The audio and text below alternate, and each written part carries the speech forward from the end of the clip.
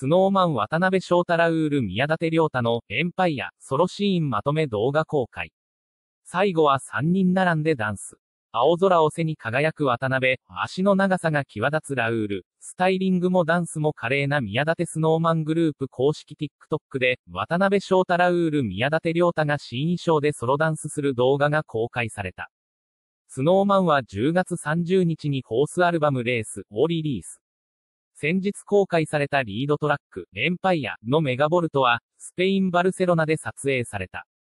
この度公開されたのは、そのメガボルトでラウール渡辺、宮舘が、エンパイア、衣装でソロダンスするシーンを詰め合わせた動画。真っ青な空をバックに、赤い襟のジャケット白シャツにエレガントなリボンを合わせた上半身に、からし色のパンツを合わせたコーディネートで、キレッキレのダンスを披露する渡辺。玉虫色のような光沢感があるシャツを見事に着こなし、黒いパンツで長い足を生かしたしなやかなステップを見せるラウール。